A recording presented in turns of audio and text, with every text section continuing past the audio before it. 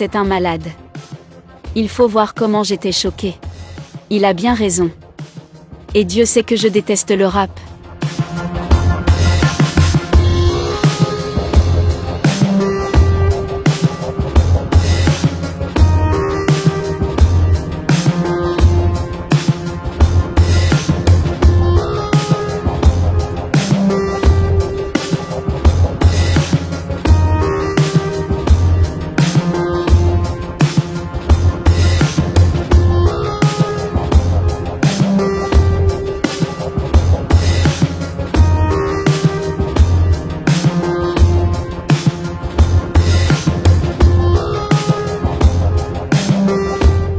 Peine de mort, si possible avec des techniques qui viennent d'Allemagne ou de chez Mohamed Ben Salman.